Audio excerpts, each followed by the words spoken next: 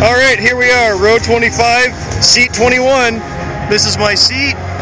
There's the Jumbotron.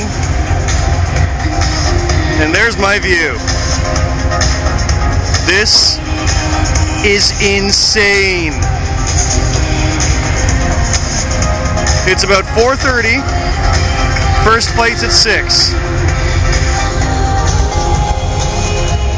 Oh my god. This is awesome.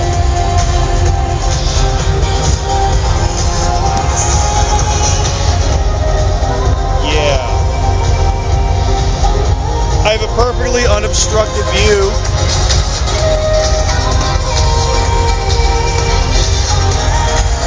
When I was here for WrestleMania,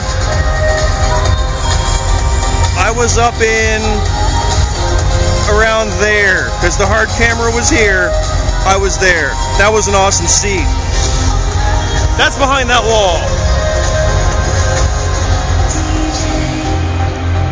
That screen is gigantic.